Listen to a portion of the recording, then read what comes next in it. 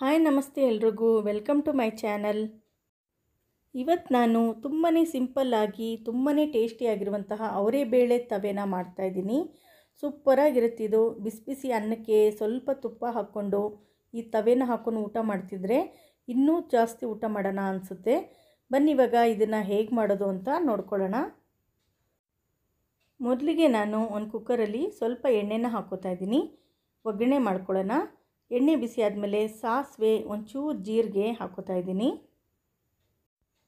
ಈಗ ಒಂದೇ ಒಂದು ಈರುಳ್ಳಿನ ಹಾಕೋತಾ ಇದ್ದೀನಿ. ಅದ್ರ ಜೊತೆಗೆ ಖಾರಕ್ಕೆ ಎಷ್ಟು ಬೇಕೋ ಅಷ್ಟು ಹಸಿಮೆಣ್ಸಿನ್ಕಾಯಿ, ಒಂದು ಸ್ವಲ್ಪ ಕರಿಬೇವನ್ನ ಕೂಡ ಹಾಕೋತಾ ಇದ್ದೀನಿ. ಹಸಿಮೆಣ್ಸಿನ್ಕಾಯಿ ನಿಮಗೆ ಖಾರಕ್ಕೆ ಎಷ್ಟು ಬೇಕು ಅಂತ ನೋಡಿಕೊಂಡು ಹಾಕ್ಕೊಳ್ಳಿ. ಇದನ್ನೆಲ್ಲ ಒಂದೆರಡು ನಿಮಿಷ ಚೆನ್ನಾಗಿ ಫ್ರೈ ಮಾಡ್ಕೊಳ್ಳೋಣ. ಈರುಳ್ಳಿ ಎಲ್ಲ ಚೆನ್ನಾಗಿ ಫ್ರೈ ಆದಮೇಲೆ ಒಂದು ಗಡ್ಡೆಯಷ್ಟು ಬೆಳ್ಳುಳ್ಳಿನ ಒಂದು ಸ್ವಲ್ಪ ದಪ್ಪ ದಪ್ಪವಾಗಿ ಜಚ್ಕೊಂಡು ಹಾಕೋತಾ ಇದ್ದೀನಿ. ಅದು ಕೂಡ ಒಂದೆರಡು ನಿಮಿಷ ಚೆನ್ನಾಗಿ ಫ್ರೈ ಮಾಡ್ಕೊಳ್ಳೋಣ. ಒಳ್ಳೆ ಫ್ಲೇವರ್ ಬರುತ್ತೆ ಬೆಳ್ಳುಳ್ಳಿ ಹಾಕೋದ್ರಿಂದ. ಈಗ ಬೆಳ್ಳುಳ್ಳಿ ಒಂಚೂರು ಬ್ರೌನ್ ಆದಮೇಲೆ ಈಗ ಒಂದು ಟೊಮೆಟೊನ ಹಾಕೋತಾ ಇದ್ದೀನಿ. ನೀವು ಎರಡು ಟೊಮೆಟೊನ ಬೇಕಾದರೆ ಹಾಕ್ಕೋಬೋದು. ಸಣ್ಣದಾಗಿ ಕಟ್ ಮಾಡ್ಕೊಂಡು ಹಾಕ್ಕೊಂಡಿದ್ದೀನಿ ಸ್ವಲ್ಪ ಸಾಫ್ಟ್ ಆಗಲಿ ಟೊಮೆಟೊ ಎಲ್ಲ ಇದೆಲ್ಲ ಒಗ್ಗರಣೆ ಮಾಡೋಷ್ಟರಲ್ಲಿ ನಾನು ಅವರೇ ಬೇಳೆನ ಚೆನ್ನಾಗಿ ತೊಳೆದು ಸ್ವಲ್ಪ ನೆನೆಸಿ ಇಟ್ಟಿದ್ದೆ. ಒಂದು ಹತ್ತರಿಂದ ಒಂದು ಹದಿನೈದು ನಿಮಿಷದವರೆಗೂ ನೆಂದಿದೆ ಇದು. ಈಗ ನಾನು ಇದನ್ನು ಒಗ್ಗರಣೆಗೆ ಹಾಕೋತಾ ಇದ್ದೀನಿ. ಒಂದು ಸ್ವಲ್ಪ ರುಚಿಗೆ ತಕ್ಕಷ್ಟು ಉಪ್ಪು ಮತ್ತು ಅರಿಶಿನ ಪುಡಿ. ಈಗ ಒಂದು ಸ್ಪೂನಷ್ಟು ಧನಿಯಾ ಪುಡಿನೂ ಕೂಡ ಹಾಕ್ಕೊಳ್ಳೋಣ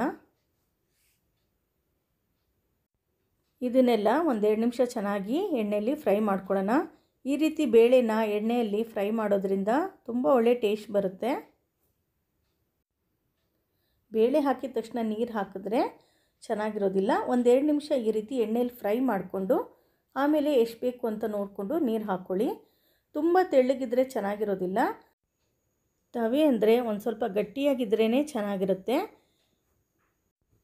ಒಂದು ಎರಡು ಗ್ಲಾಸಷ್ಟು ನೀರು ಹಾಕ್ಕೊಂಡ್ರೆ ಸಾಕಾಗುತ್ತೆ.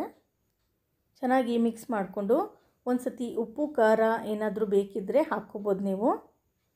ಈಗ ಕುಕ್ಕರ್ನ ಕ್ಲೋಸ್ ಮಾಡಿಕೊಂಡು ಒಂದು ಎರಡು ವಿಜಿಲ್ನ ಕುಗ್ಗಿಸ್ಕೊಡೋಣ. ಬೇಳೆ ಎರಡು ವಿಜಿಲಲ್ಲಿ ಬೆಂದೋಗುತ್ತೆ. ನೋಡಿ, ಅವರೇ ಬೇಳೆ ತವೆ ರೆಡಿಯಾಗಿದೆ. ತುಂಬಾ ಚೆನ್ನಾಗಿ ಬೆಂದಿದೆ.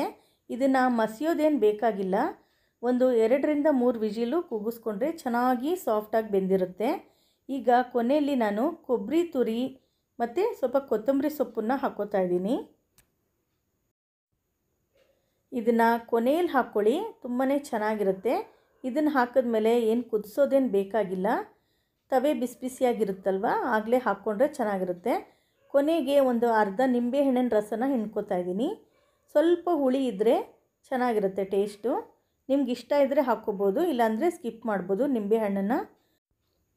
ನೋಡಿ ಫ್ರೆಂಡ್ಸ್, ಇವಾಗ ತುಂಬಾ ಟೇಸ್ಟಿಯಾಗಿರುವಂತಹ ಅವರೇ ಬೇಳೆ ತವೆ ರೆಡಿಯಾಗಿದೆ. ಬಿಸಿ ಬಿಸಿ ಅನ್ನಕ್ಕೆ ಒಂಚೂರು ತುಪ್ಪ ಮತ್ತು ಅವರೇ ಬೇಳೆ ತವೆನ ಹಾಕ್ಕೊಂಡು ತಿಂತಾಯಿದ್ರೆ ತುಂಬಾ ಚೆನ್ನಾಗಿರುತ್ತೆ. ಒಂದು ಸತಿ ಇದನ್ನು ಟ್ರೈ ಮಾಡಿ ನೋಡಿ ಹೇಗಿತ್ತು ಅಂತ ಕಮೆಂಟ್ ಮಾಡಿ ತಿಳಿಸಿ. ಮತ್ತು ಹೊಸದಾಗಿ ನನ್ನ ಚಾನಲ್ನ ನೋಡ್ತಾ ಇರೋರು, ಪ್ಲೀಸ್ ಸಬ್ಸ್ಕ್ರೈಬ್ ಮಾಡ್ಕೊಳ್ಳಿ. ಮತ್ತೆ ನೆಕ್ಸ್ಟ್ ವಿಡಿಯೋನಲ್ಲಿ ಸಿಗೋಣ. ಮತ್ತೆ ಹೊಸ ರೆಸಿಪಿ ಜೊತೆ ಬರ್ತೀನಿ. ಅಲ್ಲಿವರೆಗೂ ಧನ್ಯವಾದಗಳು.